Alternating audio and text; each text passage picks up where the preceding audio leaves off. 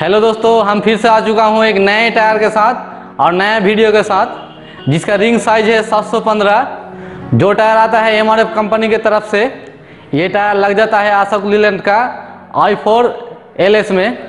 तो चलिए हम आपको टायर दिखाते हैं। अब बात कर लेते हैं इसके स्ट्रक्चर के बारे में। इसका बीट और पैटर्न देख लीजिए। एक्चुअली ये ऑफ़ के लिए टायर है। इसे पीछे में लगाया जाता है। देख सकते हैं, बहुत बढ़िया बीट है इसका।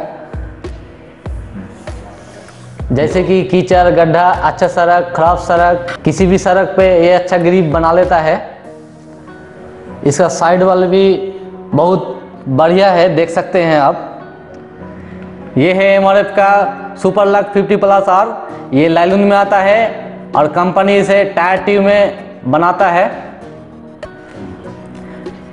एक्चुअली ये टायर बड़ा पलाई का आता है कंपनी की तरफ़ से। इसमें आप यार प्रेशर रख सकते हैं। 90 के आसपास जो कंपनी रखने को कहता है, इसमें आप मैक्सिमम लोड ले सकते हैं 2600 केजी जो। कंपनी लेने को कहता है, उसके साथ आपको एमआरएफ कंपनी का विश्वास और वारंटी तो मिलता ही है। आप इसे यूज़ कर सकते हैं। इसका ऑन रोड परफॉर्मेंस बहुत ही अच्छा है। ये ओवरलोड का टायर है। आप इसे ओवरलोड में चला सकते हैं। ओवरऑल ये दूसरे टायर से बहुत अच्छा परफॉर्मेंस देने वाला है। इसलिए आप इसके साथ जा सकते हैं।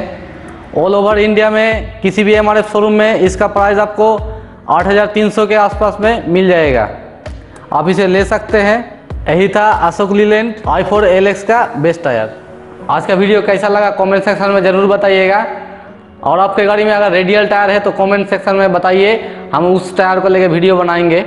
इस वीडियो को यहीं पर ख़त्म करते हैं। तब तक के लिए जय हिंद, जय भारत।